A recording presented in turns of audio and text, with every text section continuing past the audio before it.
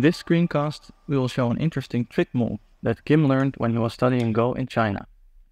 Unlike the flexible move we showed you last week, there are some minor drawbacks to the trick play we will show you in this episode. However, when used at the right moment and under the right circumstances, this move can be powerful and a refreshing addition to your Joseki knowledge. The opening position you see here is the start of a game between Zhou Ruiyang, 3-dan professional, and Niu Yutian, 6-dan professional, played in 2006. The marked stone is a tesuji around which the trick play of this episode revolves. The trick can be used in Moyo games when the opponent has two high stones, one positioned on a Hoshi star point at A and the other on a center star point nearby, B. A perfect example is the San Rensei Fuseki which you see here. Let's get started. Playing against large influence frameworks, such as the San Rensei opening, requires caution in combination with reduction. A normal way of reducing black's influence by preventing black from extending from his moyo is to approach one of the Hoshi stones, like you see here. A black pincer is usual in this situation, aiming to pressure white's lonely stone and at the same time continuing the tactics of large skill influence. To such a pincer, white's most popular tactic is going into the corner and making life fast at A.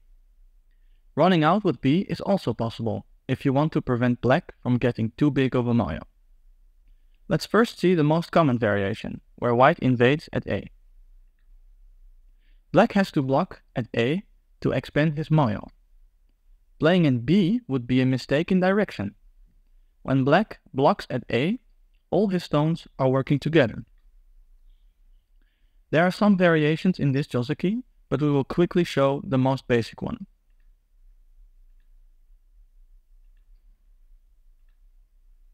White took the territory in the corner and is safe. Black continues his plan of influence on the outside and towards the center. Since white has Sente, he can approach the other corner. The same kind of Joseki can follow here.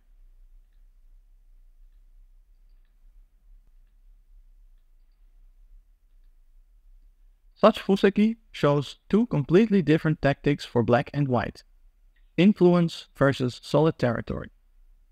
These playing styles often clashed in the professional matches between the two Japanese masters Takemiya Masaki, 9-dan professional, and Cho Chikun, 9-dan professional.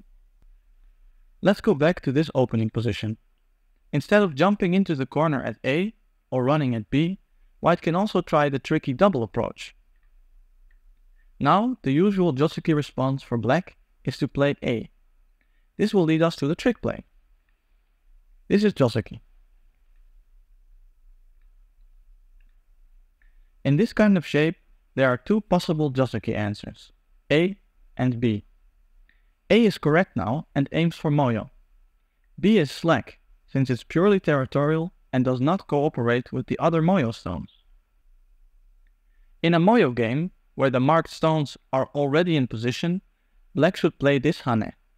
It is the proper move. Here, white's normal response, which leads to a standard Joseki, is A. When white plays the Tesuji at B, he sets up the trick play. But before the fun starts, and to understand the trick play better, let's see the normal variation first. This is the normal Joseki, which is basically a one-way street. It might look chaotic and complicated at first, but try to study it and you will see that there are few alternatives to every move.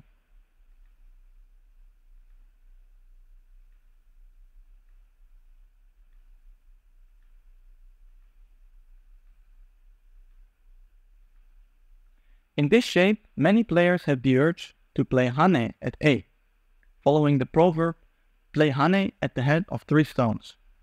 However, black shape is full of weaknesses, and this jump is more solid and fixes his cutting points.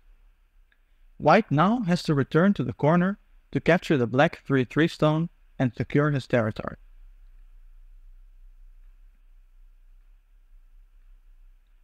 Black can now block here in Sente with nice shape. Now that white is solid in the corner, black has one weakness left at A, which he needs to fix. Before he does so, black can choose to play this sequence, or keep it for threats later.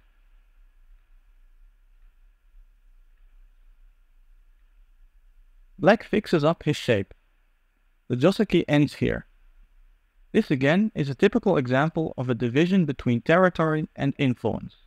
Solid points versus raw strength.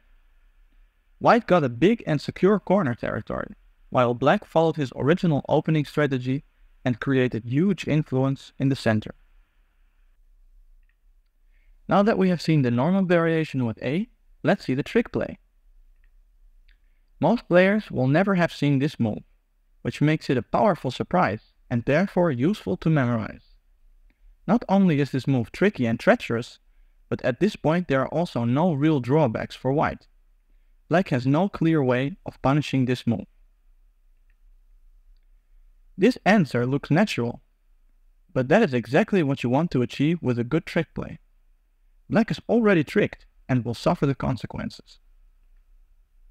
White goes back to the Joseki variation that we showed earlier, leaving black no choice but to follow, a one-way street.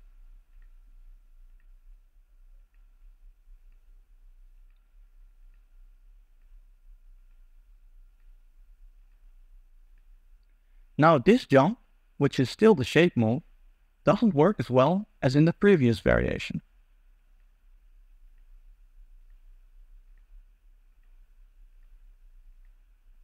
Good for white.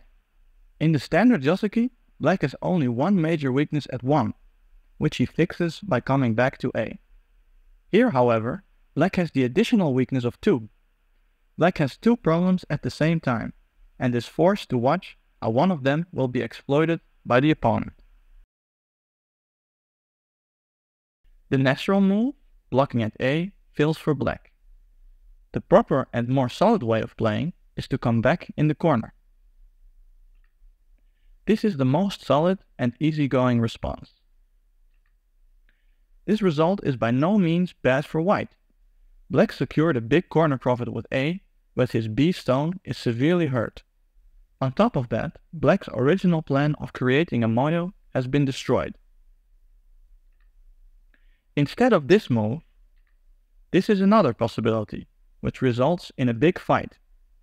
We took this move from a professional game between Zhou Ruiyang 3-dan professional and Niu Yutian 6-dan professional from 2006.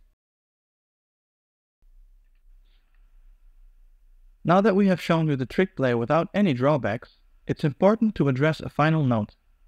When white makes the double approach, especially against the Sanrensei Fuseki, there can be a minor drawback namely the possibility of black playing a severe counterattack at the 3-3 point in the corner. This is a very powerful move. Instead of playing at A, black can choose to play on the 3-3 point when he has two stones on the outside to help him with the fight.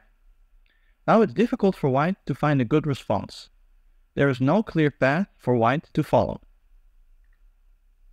Surrounding the two black stones in the corner is usually the correct shape move. However, when black has reinforcements nearby on either side, he can cut through white's thin position.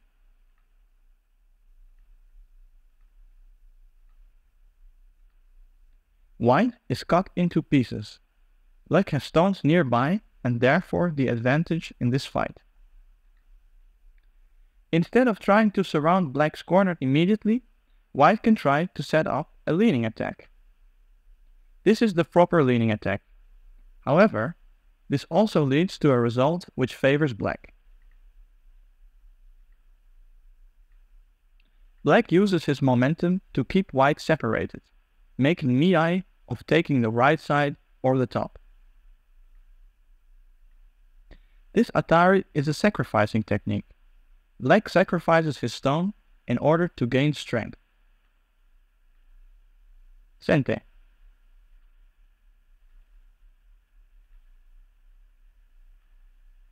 This final result is also slightly better for black. It feels too easy. So try this Tesuji at home. We are curious about your results. Good luck and see you next time.